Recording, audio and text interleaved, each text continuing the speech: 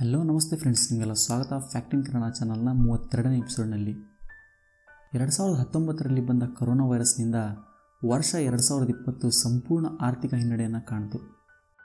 ನಂತರದ ದಿನಗಳಲ್ಲಿ ವೈರಸ್ನ ಹರಡುವಿಕೆ ಪ್ರಮಾಣ ಕಡಿಮೆಯಾದ ಹಾಗೆ ದೇಶಗಳ ಆರ್ಥಿಕ ಸ್ಥಿತಿಯೂ ಸಹ ಚೇತರಿಕೆಯಾಗಲು ಶುರುವಾಯಿತು.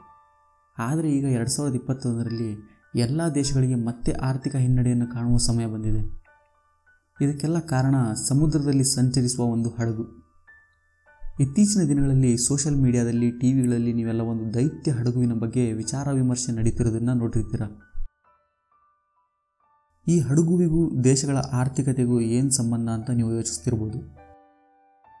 ನೀವೆಲ್ಲ ನಿಮ್ಮ ಶಾಲಾ ದಿನಗಳಲ್ಲಿ ಸುಯೇಜ್ ಕಾಲುವೆ ಹಾಗೂ ಪನಾಮ ಕಾಲುವೆ ಬಗ್ಗೆ ಕೇಳಿರ್ತೀರ. ಸುಯೇಜ್ ಕಾಲುವೆ ಯುರೋಪ್ ಮತ್ತು ಏಷ್ಯಾ ದೇಶಗಳ ನಡುವಿನ ಸಮುದ್ರ ಮಾರ್ಗವನ್ನು ಅತಿ ಕಡಿಮೆ ಸಮಯದಲ್ಲಿ ಪೂರ್ಣಗೊಳಿಸಲು ಸಹಕಾರಿಯಾಗಿದೆ. ಹಾಗೂ ವಿಶ್ವದ ಹನ್ನೆರಡು ಪರ್ಸೆಂಟ್ ವ್ಯಾಪಾರ ವಹಿವಾಟುಗಳು ಈ ಸುಯೇಜ್ ಕಾಲುವೆ ಮೂಲಕ ನಡೆಯುತ್ತೆ. ಸುಯೇಜ್ ಕಾಲುವೆ ಈಜಿಪ್ಟ್ ದೇಶದಲ್ಲಿದೆ ಇದು ಮಾನವ ನಿರ್ಮಿತ ಕಾಲುವೆ. ಮೆಡಿಟೇರಿಯನ್ ಸಮುದ್ರ ಹಾಗೂ ಕೆಂಪು ಸಮುದ್ರದ ಮಧ್ಯೆ ಸಂಪರ್ಕ ಕಲ್ಪಿಸಲು ಇದನ್ನು ತಯಾರಿಸಲಾಗಿದೆ. ಇದರ ಸಂಪೂರ್ಣ ಉದ್ದ ಒಂದು ನೂರ ತೊಂಬತ್ತ್ಮೂರು ಕಿಲೋಮೀಟರ್ ಹಾಗೂ ಅಗಲ ಮುನ್ನೂರು ಮೀಟರ್ಗಳಿದೆ. ಇದನ್ನು ತಯಾರಿಸಲು ಹತ್ತು ವರ್ಷಗಳಿಗಿಂತ ಹೆಚ್ಚಿನ ಸಮಯ ಬೇಕಾಯಿತು. ಹಾಗೂ ಇದರ ತಯಾರಿಕೆಯಲ್ಲಿ ಹದಿನೈದು ಲಕ್ಷಕ್ಕಿಂತ ಹೆಚ್ಚು ಕಾರ್ಮಿಕರು ಶ್ರಮಪಟ್ಟಿದ್ದಾರೆ. ಇದನ್ನು ಹದಿನೆಂಟುನೂರ ಅರವತ್ತೊಂಬತ್ತರಲ್ಲಿ ಸಂಪೂರ್ಣವಾಗಿ ತಯಾರಿಸಲಾಯಿತು. ಆಗಿನ ಸಮಯದಲ್ಲಿ ಇದನ್ನು ತಯಾರಿಸಲು ಬಂದ ಖರ್ಚು ಒಂದು ನೂರು ಮಿಲಿಯನ್ ಡಾಲರ್ಸ್. ಈಗಿನ ಲೆಕ್ಕಕ್ಕೆ ಅದು ಬಿಲಿಯನ್ ಡಾಲರ್ಸ್ಗಳ ಲೆಕ್ಕದಲ್ಲಿದೆ. ಈ ಕಾಲುವೆಯನ್ನು ಈಜಿಪ್ಟ್ ಗೌರ್ಮೆಂಟ್ ಹತ್ತೊಂಬತ್ತು ನೂರ ಐವತ್ತಾರರಲ್ಲಿ ರಾಷ್ಟ್ರೀಕೃತ ಎಂದು ಘೋಷಣೆ ಮಾಡಿತು. ಇದರಿಂದ ಇಸ್ರಾಯೇಲ್, ಬ್ರಿಟನ್ ಮತ್ತು ಫ್ರಾನ್ಸ್ ದೇಶಗಳು ಈಜಿಪ್ಟ್ನ ವಿರುದ್ಧ ಯುದ್ಧಕ್ಕೂ ಸಹ ತಯಾರಾಗಿದ್ದವು ನೀವೆಲ್ಲ ಯೋಚಿಸ್ತಿರ್ಬೋದು ಈ ಒಂದು ಕಾಲುವೆಯಲ್ಲಿ ಏನು ಅಷ್ಟು ಪ್ರಾಮುಖ್ಯತೆ ಇರ್ಬೋದು ದೇಶಗಳು ಯುದ್ಧಕ್ಕೆ ಇಳಿಬೇಕಂದ್ರೆ. ಭಾರತ, ಚೀನಾ ಮತ್ತು ಏಷ್ಯಾ ಹಾಗೂ ಯುರೋಪ್ ದೇಶಗಳ ನಡುವೆ ಆಫ್ರಿಕಾ ಮೂಲಕ ಸಮುದ್ರ ಮಾರ್ಗವನ್ನು ಪೂರ್ಣಗೊಳಿಸಬೇಕಾದರೆ ಐವತ್ತ್ಮೂರರಿಂದ ಐವತ್ತೈದು ದಿನಗಳ ಸಮಯ ಬೇಕು. ಅದೇ ಸುಯೇಜ್ ಕಾಲುವೆ ಮೂಲಕ ಸಂಪರ್ಕ ಕಲ್ಪಿಸಿದರೆ ಕೇವಲ ಮೂವತ್ತ್ಮೂರು ದಿನಗಳಲ್ಲಿ ಈ ಮಾರ್ಗವನ್ನು ಪೂರ್ಣಗೊಳಿಸಬಹುದು. ಈ ಒಂದು ಕಾಲುವೆಯಿಂದಾಗಿ ಹಡಗುಗಳಿಗೆ ಎರಡರಿಂದ ಮೂರು ವಾರಗಳ ಸಮುದ್ರಯಾನ ಕಡಿಮೆಯಾಗುತ್ತೆ ಹಾಗೂ ಸರಕುಗಳು ಸಹ ಬೇಗನೆ ಡೆಲಿವರಿ ಆಗುತ್ತೆ. ಈಜಿಪ್ಟ್ ದೇಶಕ್ಕೆ ಕೇವಲ ಈ ಒಂದು ಕೆನಾಲ್ನಿಂದ ಪ್ರತಿ ವರ್ಷ ಐದು ಪಾಯಿಂಟ್ ಆರು ಬಿಲಿಯನ್ ಡಾಲರ್ನ ಟೋಲ್ ಅಮೌಂಟ್ ಸಂಗ್ರಹವಾಗುತ್ತೆ. ಇದೇ ಸುಯೇಜ್ ಕಾಲುವೆಗೆ ಅಡ್ಡಲಾಗಿ ಈಗ ಒಂದು ಹಡಗು ಸಿಲುಕೊಂಡಿದೆ ಅದರ ಹೆಸರು ಎವರ್ ಗಿವನ್ ನೀವೆಲ್ಲ ಹಾಲಿವುಡ್ ಮೂವಿ ಟೈಟಾನಿಕ್ನ ನೋಡಿರ್ತೀರ? ಆ ಟೈಟಾನಿಕ್ ಹಡಗಿನ ಉದ್ದ ಎರಡು ನೂರ ಅರವತ್ತೊಂಬತ್ತು ಮೀಟರ್. ಈಗ ಸುಯೇಜ್ ಕಾಲುವೆಗೆ ಅಡ್ಡಲಾಗಿ ಸಿಲುಕೊಂಡಿರುವ ಹಡಗು ಎವರ್ ಗಿವನ್ನ ಉದ್ದ ನಾಲ್ಕುನೂರು ಮೀಟರ್. ಅಂದರೆ ಟೈಟಾನಿಕ್ ಹಡಗುವಿನ ದುಪ್ಪಟ್ಟು ದೊಡ್ಡದಾಗಿದೆ ಈ ಹಡಗು. ಫ್ರಾನ್ಸ್ನಲ್ಲಿರುವ ಎಫಿಲ್ ಟವರ್ ಬಗ್ಗೆ ನಿಮಗೆಲ್ಲ ಗೊತ್ತಿರ್ಬೋದು. ಅದರ ಉದ್ದ ಮುನ್ನೂರ ಇಪ್ಪತ್ನಾಲ್ಕು ಮೀಟರ್ ಇದೆ.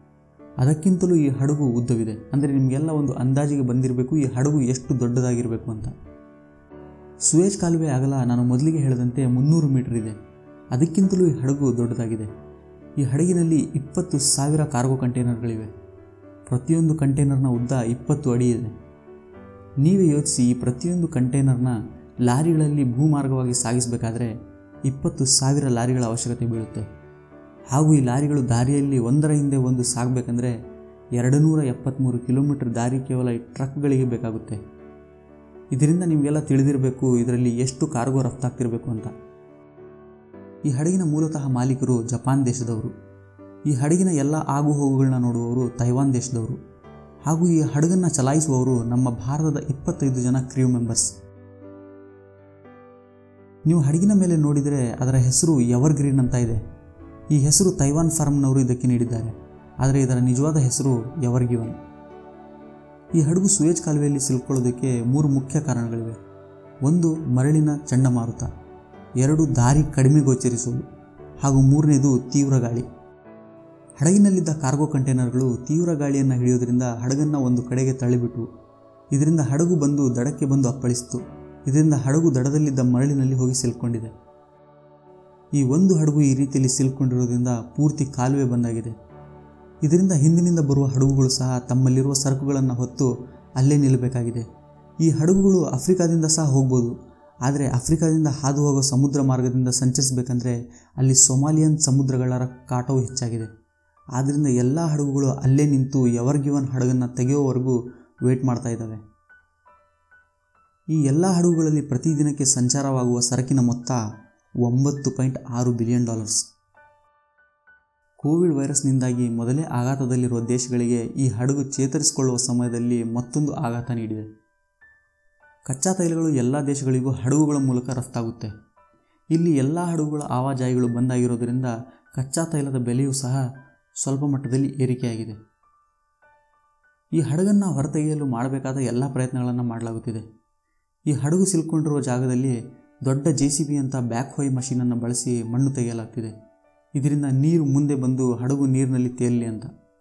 ಈ ಹಡಗನ್ನು ಹೊರತೆಗೆಯಲು ಮಾನವರಷ್ಟೇ ಅಲ್ಲದೆ ನಿಸರ್ಗದ ಸಹಾಯತೆ ಕೂಡ ಬೇಕಾಗಿದೆ. ಯಾಕಂದರೆ ಸಮುದ್ರದಲ್ಲಿ ಏಳುವ ಹೈಟೈಡ್ನಿಂದ ಕೆನಾಲ್ನಲ್ಲಿ ಹದಿನೆಂಟು ಇಂಚಿನಷ್ಟು ನೀರು ಮೇಲಕ್ಕೆ ಬರುತ್ತೆ. ಇದರಿಂದ ಹಡಗು ಸುಲಭವಾಗಿ ತೇಲಬಹುದು ಅಂತ ಕೂಡ ಲೆಕ್ಕ ಹಾಕಲಾಗಿದೆ. ಇವೆಲ್ಲ ಯೋಜನೆಗಳು ಕೆಲಸಕ್ಕೆ ಬರದೇ ಇದ್ದರೆ ಕ್ರೇನ್ ಮೂಲಕ ಎಲ್ಲ ಕಾರ್ಗೋ ಕಂಟೈನರ್ಗಳನ್ನ ದಡದಲ್ಲಿ ಇಳಿಸಬೇಕಾಗುತ್ತೆ.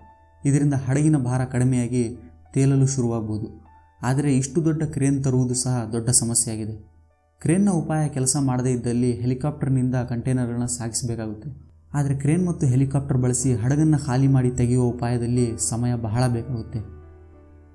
ಈ ಹಡಗು ಹೊರತೆಗೆಯುವವರೆಗೂ ಜಾಗತಿಕ ಮಾರುಕಟ್ಟೆಗೆ ಪ್ರತಿ ಗಂಟೆ ನಾಲ್ಕುನೂರು ಮಿಲಿಯನ್ ಡಾಲರ್ಗಳ ನಷ್ಟವಾಗ್ತಿದೆ. ಸೊ ಫ್ರೆಂಡ್ಸ್ ಈ ವಿಡಿಯೋದಲ್ಲಿ ನಾನು ಏನಾದರೂ ತಿಳಿಸಲಾಗದಂಥ ವಿಷಯಗಳಿದ್ದರೆ ದಯವಿಟ್ಟು ಕಮೆಂಟ್ಸ್ನಲ್ಲಿ ತಿಳಿಸಿ, ಎಲ್ರಿಗೂ ಗೊತ್ತಾಗೋ ರೀತಿ ಸೊ ಫ್ರೆಂಡ್ಸ್ ನಿಮಗೆ ವಿಡಿಯೋ ಇಷ್ಟ ಆಗಿದ್ದರೆ ವಿಡಿಯೋನ ದಯವಿಟ್ಟು ಲೈಕ್ ಮಾಡಿ, ಶೇರ್ ಮಾಡಿ. ಚಾನಲ್ಗೆ ನೀವು ಹೊಸದಾಗಿ ಭೇಟಿ ನೀಡ್ತಾ ಇದ್ದೀರಾ ಅಂದರೆ ಫ್ಯಾಕ್ಟ್ ಇನ್ ಕನ್ನಡ ಚಾನಲ್ನ ಸಬ್ಸ್ಕ್ರೈಬ್ ಕೂಡ ಮಾಡ್ಕೊಳ್ಳಿ. ನಾನು ಮತ್ತೆ ಸಿಗ್ತೇನೆ ಇನ್ನೊಂದು ಇಂಟ್ರೆಸ್ಟಿಂಗ್ ವಿಡಿಯೋದೊಂದಿಗೆ. ಅಲ್ಲಿಯವರೆಗೂ ಸೇಫ್ ಆಗಿರಿ, ಸುಖವಾಗಿರಿ. ಧನ್ಯವಾದ. ನಮಸ್ತೆ.